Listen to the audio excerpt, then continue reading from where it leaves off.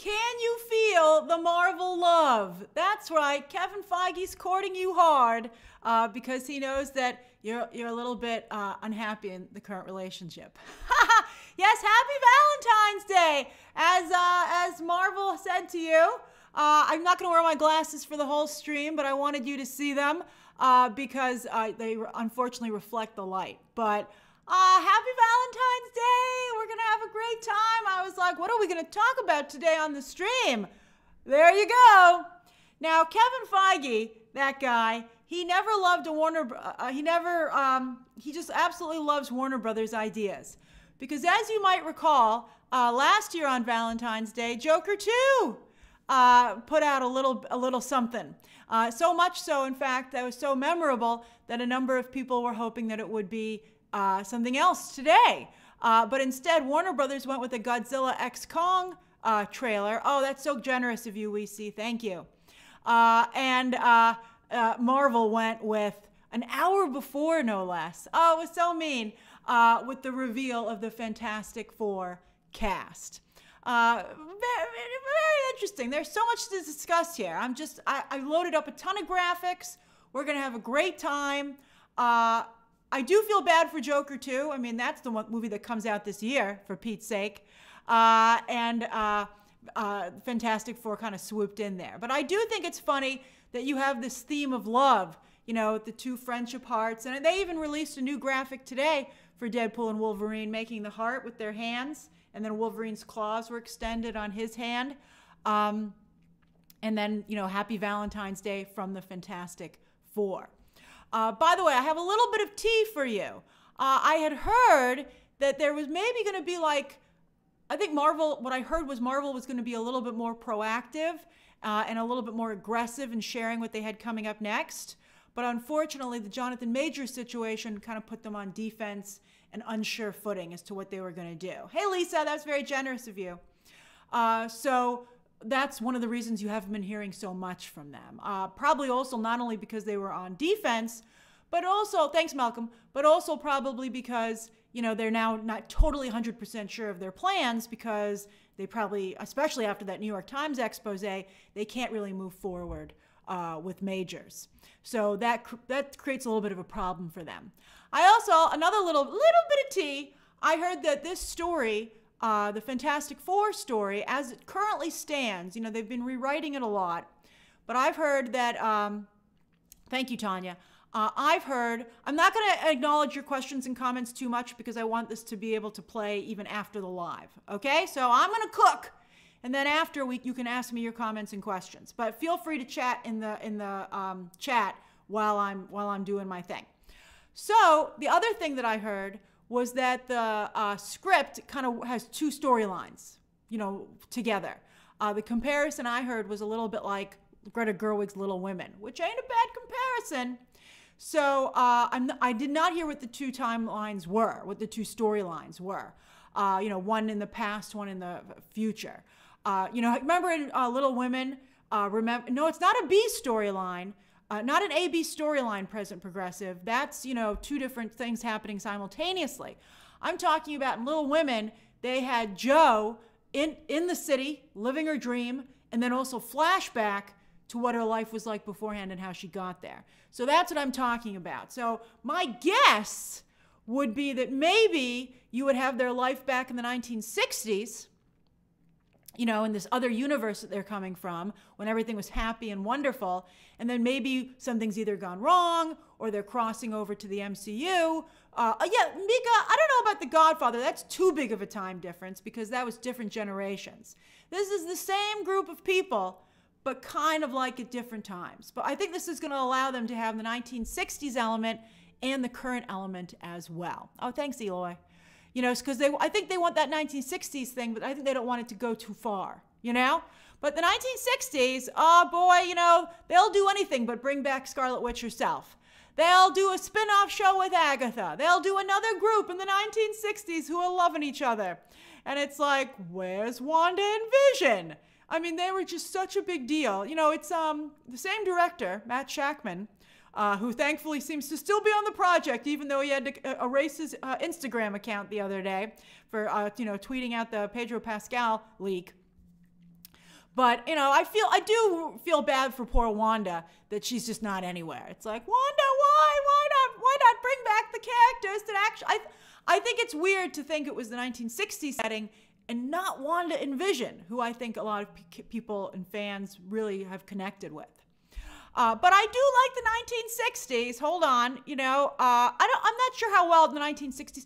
That's another good reason to split it because while some of us really love the 1960s and 1950s and vintage and retro, some people do not. You know, WandaVision didn't stay in the 1960s, uh, and so I think it's a good idea to um, to have a little bit something else that so you're not totally banking on that because there have been 1960s projects that have not done hugely well. Peyton Reed's, uh, you know, uh, Ewan McGregor, Renee Zellweger movie, uh, Mad Men, tons of awards over the years, but nobody ever watched that thing. Its ratings were always pretty low.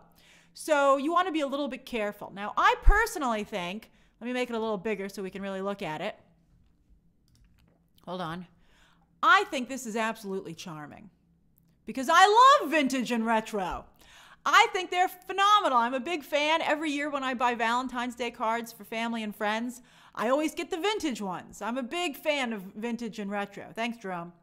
Uh, and so, especially for holidays, Christmas, Valentine's Day, uh, please retro it up. I just absolutely love that stuff. This, of course, also is a shout out to the original comics, which took came out in the 1960s. In fact, 1961 um, that's right, Brian. Don't worry, darling. We also had a retro feel and also did not do particularly well. Uh, but uh, the Fantastic Four, of course, is the first family of Marvel, one of the first comics, major comics to come out from the publisher. And in fact, they even predate uh, Spider Man by a year. That robot is Herbie. We'll talk about him um, uh, right now. That's in, I'm looking at my notes here. Yep, that's right. That's Herbie. That's their robot that helps them out. It's a lot like Jarvis. It's a lot like Griot for Shuri, voiced by Trevor Noah. Jarvis, of course, originally voiced by um, uh, uh, oh, ah, he plays frickin' Vision, Paul Bettany. And then, of course, uh, Jennifer Connelly, his wife, voiced uh, a version of that in Spider Man. Uh, so, and, and then they had someone, you know, Friday came on instead, you know, reference to his girl Friday. Uh, but so, of course, you have to wonder who's going to voice Herbie. Uh, hard to differentiate the MCU characters, wouldn't you say? Uh, you know, they all have a little robot or AI helping them out. Uh, they're all science bros and gals. But I guess one of the ways you can differentiate them is sweaters. Do you see that they're wearing sweaters in these costumes? That's hilarious to me. It's very 1960s. I don't know who on earth would wear a sweater for any type of physical activity, but sweaters are very complimentary. Uh, I think they're going to look very good on Pedro Pascal and Vanessa Kirby. Uh, also, you can note that their boots are astronaut space boots. They kept the boots, changed everything else out, uh, uh but I think I think that's great. I think that's a nice uh, touch to have the, uh, the the astronaut boots there. and then I do think I would suspect if they've split the script into two separate timelines, I wouldn't be surprised if uh, you know they change their outfits for one of them, and that would be awesome. They would have two sets of costumes, which I think would be fantastic. Sensation, they didn't have AI in the 1960s, but they also didn't have superheroes that could light themselves on fire and turn invisible. So I think you know everything's fair game. You know, uh, Reed is certainly capable of creating AI even in the 1960s. Uh, this is a different universe, I, from what I heard. So it's not our 1960s. Uh, it's the 1960s from uh, you know, another world where maybe it's the 1960s all the time. Uh, so that that's a that's a big uh, thing. That's a, that's how they're going to get away with nobody ever having ever heard of these Fantastic Four until now. Uh, so let's see here. Now let me bring this back to where it was because I got to coincide it with my pictures. All right, so let's look at some of the other movies. Now let's talk about the casts in comparison. So the very first Fantastic Four movie came out in 2005. Very Fox, very Hollywood. Of course, it gave us Chris Evans before he eventually became Captain America. He played the original Johnny Storm. Uh, so, uh, and Michael Chiklis uh, was Ben Grimm. Uh, so that you know those movies weren't particularly good. I think some people have a nostalgia factor for them. There's a rumor they might show up, although Michael Chiklis just said he's not going to be in Deadpool 3. But maybe he's pulling an Andrew Garfield. You never know these days.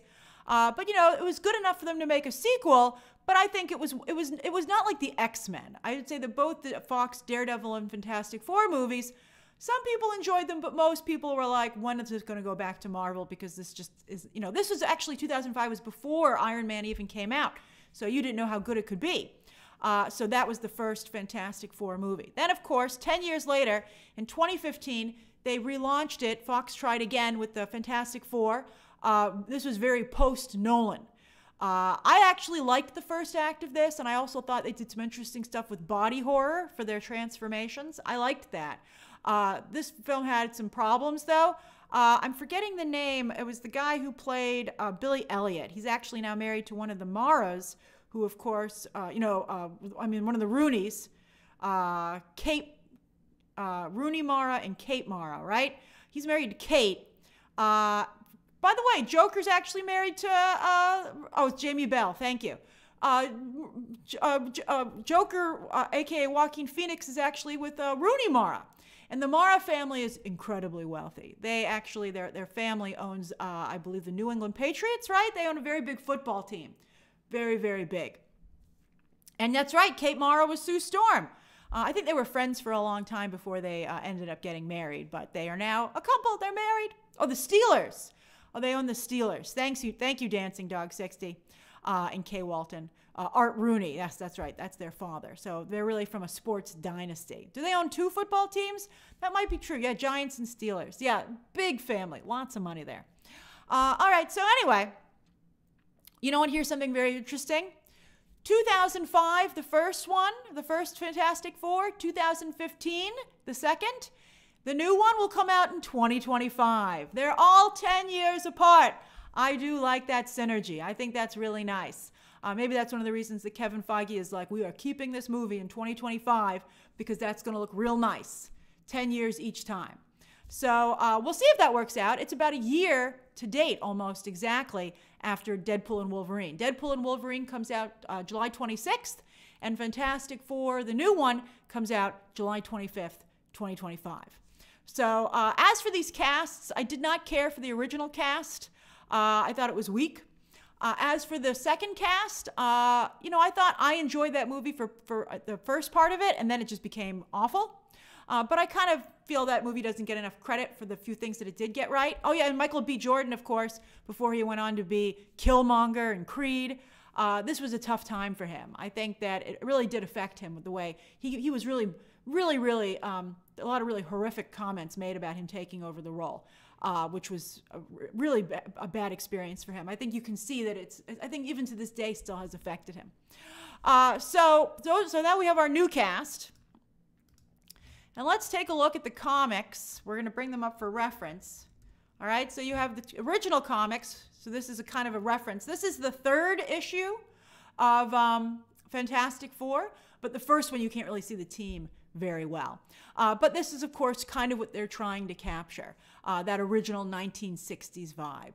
Uh, you can see them there in their floating car, which I'm sure they're also going to have. Uh, and then, of course, there's the comics today. And I wonder if the other timeline will be that this is, you know, the, the, the split timeline really makes a lot of sense, right? Uh, and don't forget, you know, uh, The Incredibles is very strongly based off of the Fantastic Four, a Disney property, of course, through Pixar. So they're going to have to try and uh, figure out. Uh, Jerome, it's not. It's two timelines, as in two things that they're, they're dealing with. So that you know, it's not all just one straight story. You're going to have it, them a character or characters reflecting. So I think to me that sounds like a good way to be able to have your vintage, but also your modern sensibility. Um, I don't know who the villain is. I haven't heard anything like that. And I don't know. I think I would get in too much trouble even if I did know who it was. I, I don't want to get in trouble. I don't want to get in trouble. Now, uh, you know, very much uh, you have Violet, very much has invisible, invisible, Invisigirl powers. Uh, there's, you know, Elastigirl, so much, uh, you know, Reed Richards.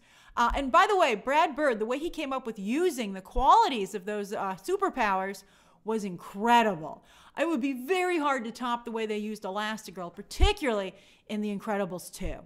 Uh, but we'll see. Uh, we'll see what they come up with. Uh, I mean, there's other elements to get in there besides just the powers. Uh, I mean, I've never seen Reed Richards be used as well as Elastigirl was powers wise. Uh, so that's what they look like. That's their. Let me take out the original comic, but I want to keep up the comics then and now for reference, so you can uh, see what the characters look like in the comics. Uh, so I, I, mean, I think they're really cool. I think it'll be interesting to see how they decide to do Sue Storm. Uh, because when she turns invisible, do you just not see her? That was a real problem for uh, uh, Jessica Alba in the first two movies because she just wasn't on screen. And you know that's kind of like even worse than having to wear a mask. You know your character's what you, your actor's just doing what voiceovers. But maybe they'll do a thing where you know you can see her. Sometimes I've seen it in the comics where you can see Sue Storm when she, from her perspective, and you see kind of like an like a see-through version of her. And so that that's how you can like, but you know that's why no like that kind of signals that no one else can see her, but it still allows the character to, to be seen. Uh, not like Emma Frost. Emma Frost turns into a diamond. Uh, you know, Sue Storm is actually supposed to become invisible.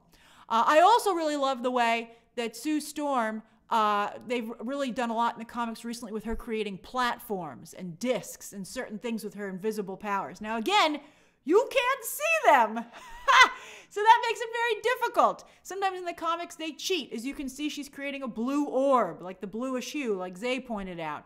They maybe could do that, but that would defeat the purpose in the actual story of the fact that they're supposed to be invisible. You're not supposed to be able to see them. Uh, you know, so so that's kind of the situation. That's right. It is a little bit like Kamala. Kamala, you know, she went from stealing one fantastic, having a similar Fantastic Four power to another. All right, so let's take a look at the individual uh, casting, and I'll share my thoughts on them. All right, I, I think it's a mixed bag. I'm sure it, this is such a nice tease. I think it's very cozy, and I feel very good about it. Uh, but I think some of the casting, eh, you know, let's see. All right. So even though the rumor is is that Sue Storm is the lead, you know, this thing's being written so many rewritten so many times, she might not be the lead anymore. And I would advise them against doing that. The Fantastic Four is always really a, a team story. Very much they should be paying attention to the full team. So here we go. We've got Pedro Pascal at the Last of Us premiere. Uh, that's I got a nice picture of him there, and there he is as Reed Richards, sporting a very nice sweater. I love how he zhuzhed he zhuzhed his sleeves, even in the illustration. He's fashionable, even when it's uh, an illustration. I think that's fantastic. Now, I think one has to be a little bit concerned as to whether or not Pedro Pascal will become overexposed. He's got an awful lot of stuff coming up. He's in uh, a lot of big ticket movies. He's in a lot of uh, you know smaller films. He has a lot of stuff coming out. Uh, you know, he's got uh, The Mandalorian and Grogu, uh, which they can film simultaneously because he's only doing the voice.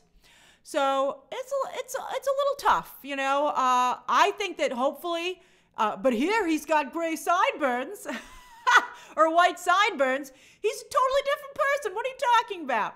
Uh, I think that of course, I wonder if they'll dive right into evil Reed. I think at the very least it'll be disconnected Reed, Reed, you know, he's so smart and he's got so much on his mind. Remember, because of his elastic powers, he can expand the connections in his brain. And so that's one of the things that makes him smarter. And he can access more of his brain, actually. Uh, so that also, you know, makes him not the best socializer, uh, which is one of the reasons that Sue is driven into the arms of Namor, who will have plenty of uh, Amor coming up, maybe, if they continue, if they decide to do that love triangle.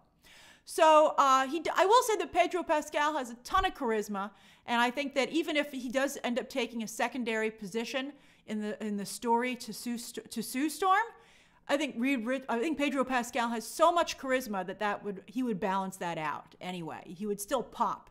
He would still make the character very much a part of the story. I would also say that Pedro Pascal, he's daddy. He's Daddy Pascal. Uh, he's very modern. A lot of younger and diverse audiences love him. Uh, he's extremely supportive of the LGBT community.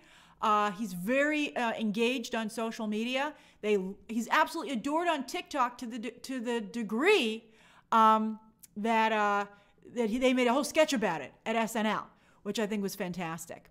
Uh, and he certainly, you know, I think he's he's a very he, he I think let's just say we want to be respectful of Pedro Pascal's personal life, you know, and what he chooses to share publicly and officially. But I, I will say that Pedro Pascal, he is uh, very much in step with I think a lot of modern uh, audiences, and he, you know, he he's uh, with with a lot of what people would like to see. So that's all that I want to say about Pedro Pascal uh, in in that regard. I want to be very respectful of that. But yeah, he's he's extremely extremely popular, and he did also. By the way, it just came out on uh, digital. But he, of course, made an LGBT cowboy uh, short with Pedro Almodovar uh, that uh, is directed by, I mean, that it's co-stars Ethan Hawke, which is an LGBT cowboy uh, romance.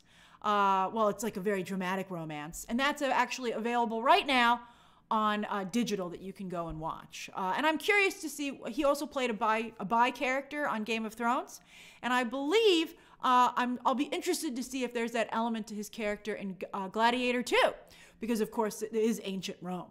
So uh, I, and I think so. I think that's great. I think you know also there was a lot of LGBT representation in The Last of Us, uh, and so uh, I think that he does a lot to not only bring diversity. Of course, you know they didn't want an all-white cast. You know that's the that's what has been reported, and so that's what Kevin Feige decided to do with casting Pedro Pascal. Oh, that's right, Dallin. And Pedro Pascal's sister is trans, and she was his uh, guest, uh, I believe, at the Emmys uh, and she got a lot of attention. She looked phenomenal, uh, and so I think um, I, I, think that's all. Uh, I think you can just see that's really part of the the snapshot of where Pedro Pascal is right now, uh, and so I think that that he does a lot to, to I think pull a lot of people into the into this movie that maybe maybe would be put off by the 1960s element. So I think that's uh, fantastic. Uh, I, so I think he's very well cast as Reed Richards, to be honest with you. I think he's a fantastic choice. My only concern is that he's a little overexposed at this point. And I would be, you know, but I think that right, I mean, I don't know how people will feel a year and a half from now, but I think right now it's very exciting. I think it's fantastic. I love it. Uh, all right, and I do. I think he look. He's really rocking that sweater. The mustache looks great. They drew a very good Pedro. Uh, all right.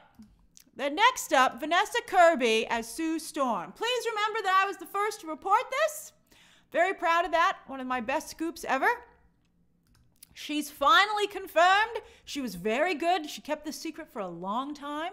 Everybody was asking her about it. And remember, she was very gracious and she kept just saying, uh, it would really be great if I could do that role. And we were like, oh, all right, so it was wonderful. I do think her hair looks phenomenal in that illustration. It's very Vanessa Kirby. It's perfect.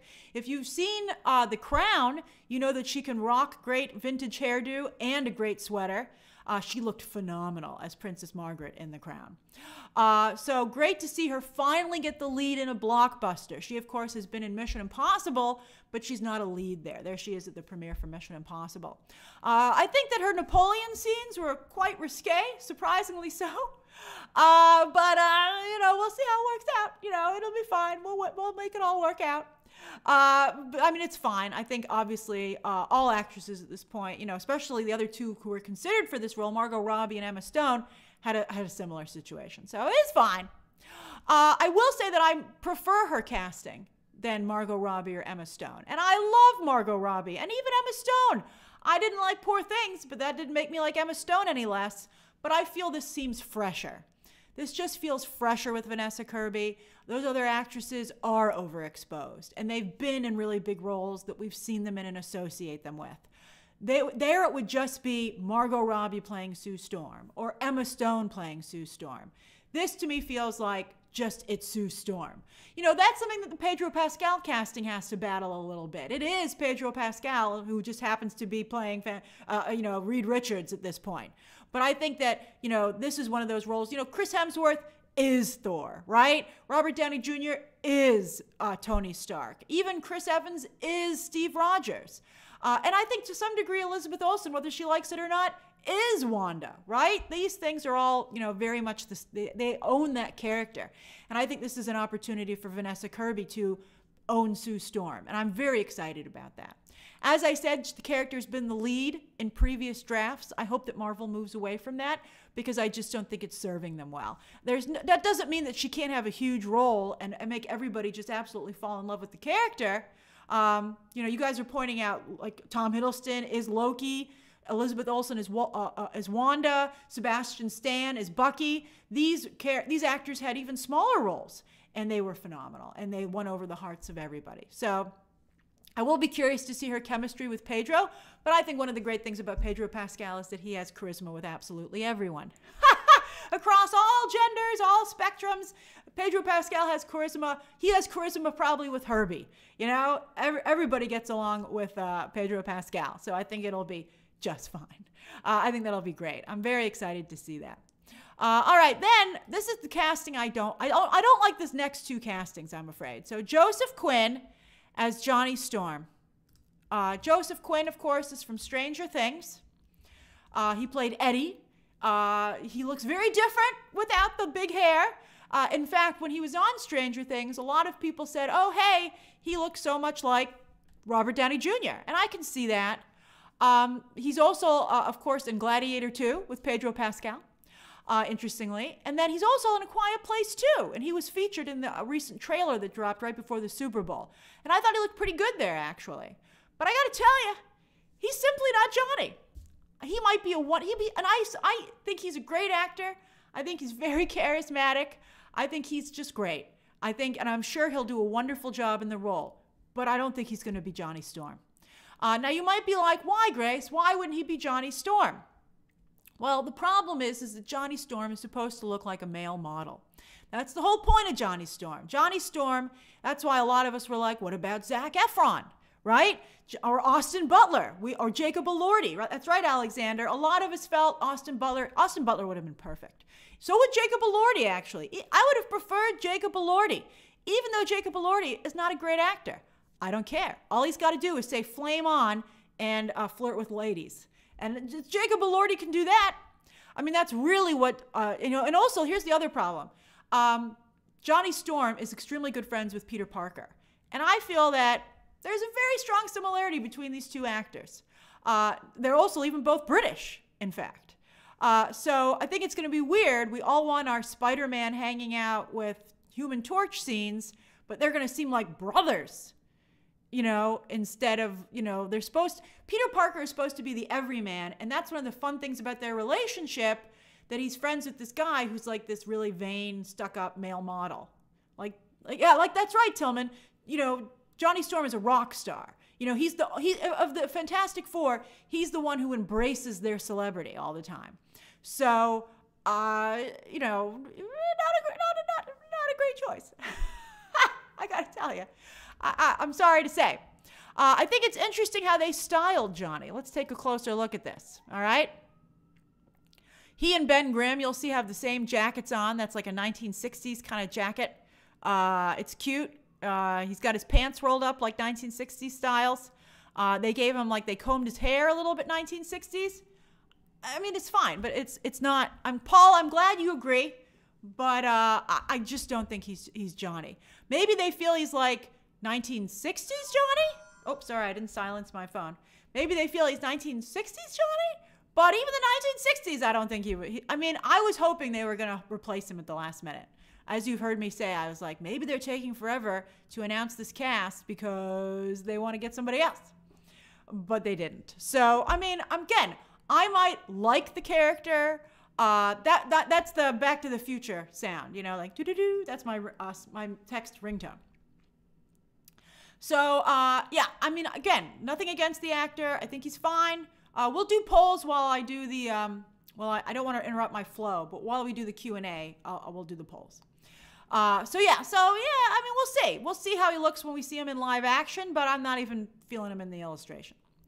Then finally, uh, Ebon Moss uh, Bacharach, or, uh, uh, or Barack, right?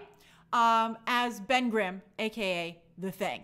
I've put him there when he won his Emmy, standing next to Jeremy Allen White, because I think most who here knows who Ebon Moss uh, uh, uh, Barack is. He of course was in The Punisher.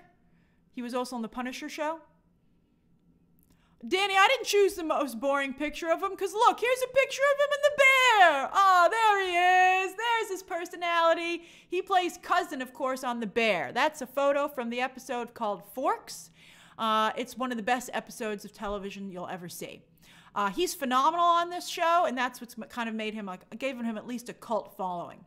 So yeah, some of I think some of you know him. A lot of you don't. You know, like I think people know if you if you know who he is, you absolutely adore him. But if you don't know him, you're like, who's that guy? So uh, there he is. He's going to be playing. Uh, I, I, obviously, I guess with motion capture, you know, kind of the way they animate uh, the Hulk. But I, I don't know about this casting. I let me just say. Well, I mean, obviously he's a he's a Jewish actor. They wanted a Jewish actor because Ben Grimm is a Jewish character. Uh, and I think that Ebon is extremely good at comedy and drama. If you've watched him on The Bear, oh yeah, that's right, he was also on Andor, Danny.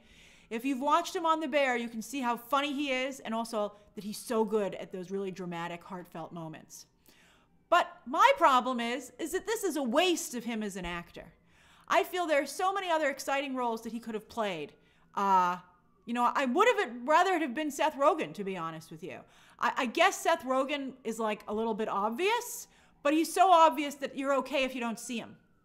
Like the fact that we're not going to get to see him on camera, you know, like at least with the Hulk, the, the characters de Hulk and you see them in their human form. You're never going to see him as, except for his origin, you know, if they do that. But you're never going to, I mean, maybe the most you'll see is just that picture of him as an astronaut. That to me is very frustrating. I think he's just such a phenomenal actor, and he surely will be able to get other things, but this is going to be his comic book role, and this is certainly his role in the MCU. And I, am just, um, I don't feel it's a good use of him because he, he's just so he's just so fantastic. Uh, oh well, all right. So let me bring up. Uh, that's my thoughts on this. Let me bring up the main picture, and we can do uh, Q and A, and we can do polls while we do it. All right, there it is. Let me make it a little bigger. And there's their logo. Like, see, for instance, that logo doesn't match. This logo doesn't match that picture. So there, that's another reason why it makes sense to have like uh, a disjoint in the storytelling. So you can do both of these. You can have the 1960s, and then you can also have something that's a little bit more modern for today's audiences. I'm excited to see what the others, if they have other suits, I'm excited to see what they might look like. Uh, I have to say, putting them in sweaters is, is a move, and I'm feeling it. I love the sweaters. Maybe they could sell those sweaters. I would, uh, I mean, every, a, a good sweater can really do a lot for anybody. Sweaters are very complimentary. People don't like sweaters, but they're extremely complimentary to figures. Uh, I don't know about those jackets that they're wearing, though. Uh, all right, so the first thing will be let's do a poll. Uh, we'll start off with Pedro. What do you think of Pedro Pascal as Reed Richards? We'll do perfect casting. Uh, I just want more Pedro. Need to see it. And then not my Reed Richards. Okay. Does anybody any so questions and comments? Zach Abbey says, I was hoping Ross Lynch for Johnny Storm because he's been great against Tom Holland's, he'd be great against Tom Holland's Spider-Man. Isn't, is Ross Lynch from Sabrina? I'm not clicking with that name off the top of my head, but if he's from Sabrina, I feel he might be a little too TV. I mean, obviously, uh, Joseph Quinn is from Stranger Things, but that's, I think, a bigger, a bigger port, a bigger brand. I have not heard who's playing Doctor Doom. I don't even know if Doctor Doom's in this movie, to be honest with you. But I saw Ben Mendelsohn uh, putting his hat in the ring for Doom the other day, and I was like, yes, please. He was wasted as the Skrull. I don't know if Vanessa Kirby will have a British or an American accent, but I I don't see Pedro Pascal having a British accent. I mean, I don't know. Maybe the Storm family will be British. I know that the MCU is tired of New York as a setting, so maybe that maybe I could see that actually. You know, I'm sure that Ebon's going to lean heavily into his cousin accent and do like the, the like the really heavy urban accent for Ben Grimm. I think Pedro Pascal will sound like Pedro Pascal, which is exactly what everybody wants. And I think, you know, I, I think making the storms British isn't a bad idea. I think it's a little, it's refreshing. It's a little bit different.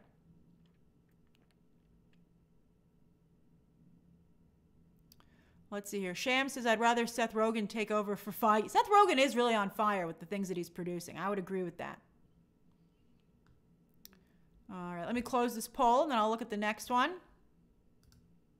Okay, hold on. I think Ross Lynch was on the Disney Channel and Sabrina, right? All right, so 40% of you need to see it. That's surprising that so many of you need to see it. Oh, wow, I'm surprised at that reaction. Uh, but right behind it, 29% is perfect casting, 15% just want more Pedro, and then only 14%, thankfully, just are like, no. But 40 is surprising. I'm surprised how many of you um, need to see it. Uh oh. All right, let's look at the next one. Marvel's in a weird space right now. Okay. I hope Matt Shakman can do something that's cinematic enough. Uh, Kirby as Sue Storm. Perfect casting. Um, need to see, need to see more. Would have preferred other actress. And then not my Sue Storm. So when I say would have preferred other actress, it means like you would have preferred for them to go with uh, Margot Robbie or Emma Stone. That's right, Derek. Third try on the Fantastic Four. I don't know why everybody loves the Fantastic Four so much. Is everybody here a big Fantastic Four fan? I mean, I certainly intellectually respect them, but I'm. It's not like the X Men, or I'm, or I'm even I think like Spider Man. I mean, with the Fantastic Four, I'm like, wow, people people sh- for some reason sure do care a lot about the Fantastic Four. Oh, look, Ivan's a super fan. That's great. So, so, so super extrovert. Resident Justice. Okay, that's cool. We'll do a poll. We'll do a poll at the end. Yeah, that's right, because it's a little bit hard to tell. All right, so hold on. I'm just letting the Vanessa Kirby poll end. Oh, that was fast. Okay. Oh, by the way, anyone can vote in a poll. You don't have to be a member to vote in a poll. I guess I should have said that earlier. I'm sorry.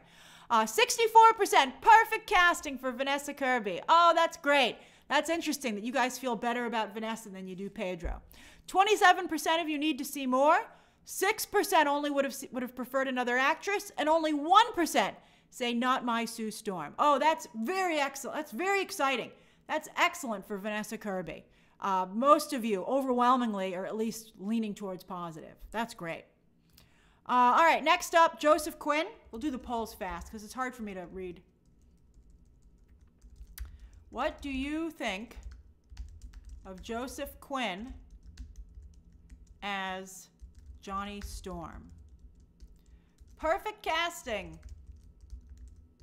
Horrible casting. and then need to see it. Need to see more. Okay, you can vote on that. Finn says, I hope they put in the effort to make Pascal look as much like Reed as possible. If that means shaving off his stash, then so be it. No, he's going to rock the stash. I mean, he's got the white sideburns. What else does he need? I think he's going to have the stash. I think that's his look. I want him to have the stash. Joe says Sue could be the lead, but the movie really needs to focus on story and character above all else. Well, yeah, but I really want to see a lot of powers. Andrew says, I don't mind Pedro, but I need him to be clean shaven and have fresh haircut. Oh, really? Is that really that important to you? I think they're going to try and make him look like as much like Pedro Pascal as possible and just give him the white sideburns. That's right, Haunted Autumn. He's Stash Daddy. He's got to have the stash. Hey, Javier. Uh, GM, I agree that uh, Austin Butler and Vanessa Kirby would have matched perfectly. All right, let me close this voting. We go. Two more votes to go. All right, so 59% of you need to see more. That's very kind of you that most of you are trying to keep an open mind. 21% say it's horrible casting, and 18% say perfect casting. Uh, so that's not bad. That's not bad. I mean, it's not as bad as I thought it would be. You know, some of you were mentioning Adam Driver. Adam Driver wouldn't have worked out in this kind of an illustration, by the way. I don't think it would have worked. Um, I think that I like. I'm happy with Pedro Pascal in this role, and I do agree that it would be tough to have them all be uh, Caucasian in terms of trying to bring in a big demographic, especially for the Fantastic Four. Uh, all right, so let's see here. What do you think of Ebon, MB, as Ben Grimm? Perfect casting.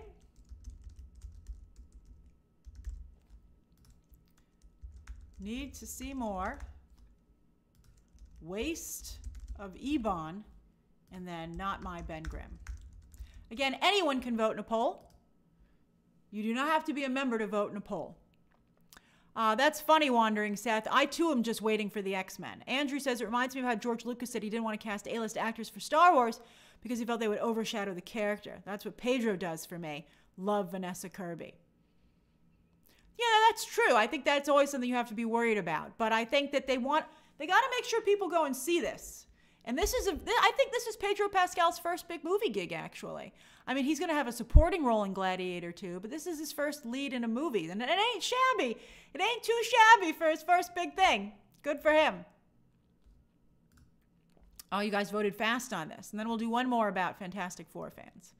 Okay, so here, all right, uh, Nova Star, I can see you love The Invisible Woman, and I'm glad you're so happy. That's important. Uh, 51% of you need to see more of Ebon in the role. 31% think it's perfect casting. 12% say waste, a waste of Ebon. And then only 4% say not my Ben Grimm. Okay, so this is good. I think for the most part, nobody hates any of this, right? So even Joseph Quinn, uh, Joseph Quinn, you guys don't hate it. You guys are open to seeing what he delivers. And so the last poll I'm going to do is, are you a fan of the Fantastic Four?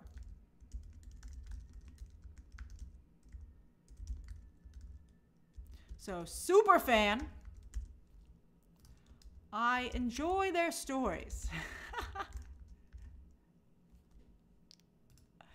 Don't care for them. Oh, oh, no, we'll do. Meh. Take them or leave them. And then, not a fan. Okay, again, anyone can vote in a poll who's watching. Anybody can vote in a poll. Melody T, you think they're the best team besides the Guardians of the Galaxy? I've never seen that dynamic in the comics, but I never appreciated Captain America until I saw him in live action. So I'm open for having, uh, I'm open for being convinced. And Shahar, I would agree they're not X Men or Spider Man level for sure. Hey, Corinne Deep, welcome back. Ivan Sarmiento says thoughts on this releasing versus uh, Superman. It's funny because they're both very like wholesome characters, uh, you know, um, and very old school comics. Uh, I think this is coming out a little bit before. Oh no, like a little bit. Uh, isn't July 25th? Oh yeah, it's like July 11th. I think is Superman. Uh, I haven't seen anything from Superman, so it's impossible to be able to tell. Hopefully, it'll just be a great month for movies. Uh, I feel, you know, I feel I'm still hopeful that James Gunn could do it. He's so excited. I feel hopefully that'll translate. And I liked Guardians of the Galaxy 3 so much. Jesse the Good Witch says, Did the Fantastic Four have a good female villain? Because if they do, I say they need to get in Sarah Paulson. That's right, she and Pedro, they are mother and father. Uh, let's see here. Brett Crandall says, Grace, I had a super chat wondering if Reed could be portrayed as autistic to explain his social tendencies. I don't really know if I want to put that on Pedro Pascal. You know, I don't know if this is the place to do that effectively because uh, he's going to be so busy smoldering and being uh, everyone's daddy. Uh, I really don't know if you could. Uh, I think it would be weird if you then made him everyone's like autistic daddy. Uh, Man on the Moon React says, which July 2025 couple will people like more, Lois and Clark or Reed and Sue? Oh, that's easy. Hands down, Reed and Sue. This is one sexy couple. I'll give this show, I'll give this casting that. This is a sexy couple. With all due respect, I mean, James Gunn did not go for sex appeal.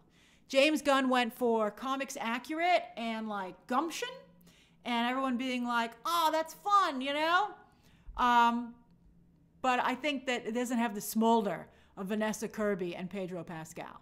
I mean, that's why, thank goodness, Tenoch Huerta is there because he also can match them in smolder. Maybe he, if anyone has more smolder than them, it's Tenoch Huerta, shirtless and dripping wet decked in all, out in all his jewels. Uh, so, are you a fan of the Fantastic Four? 45% say they enjoy the stories. Uh, so, that's good. You're a moderate fan. 31% are like me take them or leave them. Only 16% are super fans. So, that's why I think they went with the Pedro Pascal casting. Uh, to tap into his casting in Mandalorian, you know, his fandom there, and in The Last of Us. And then only 6% don't like them. So that's that's promising.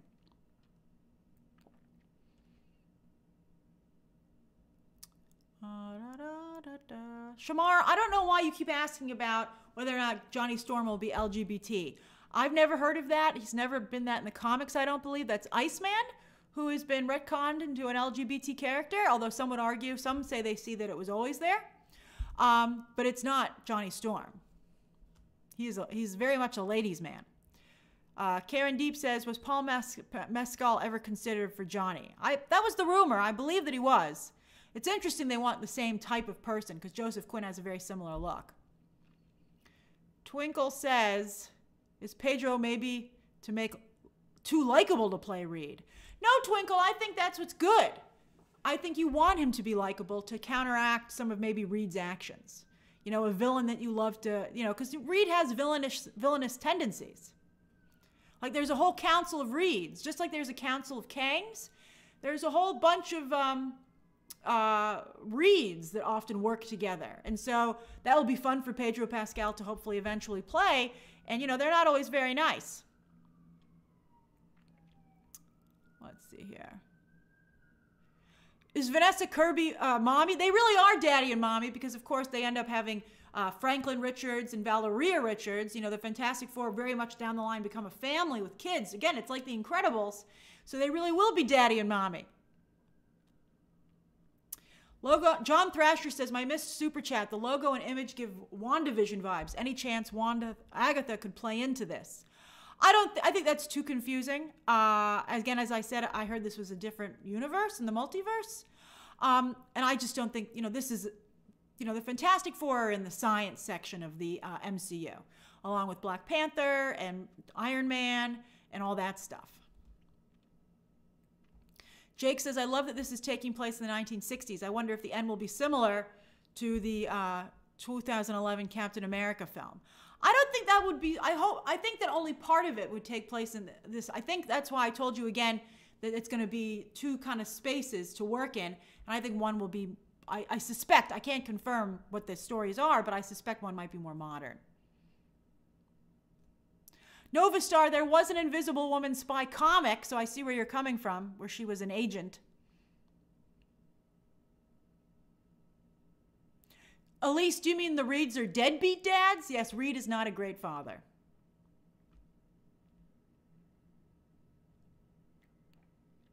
Cool Hive says, I just worry about the body horror problem. I don't think there will be any body horror. I think they're going to go uh, for. Oh, I froze?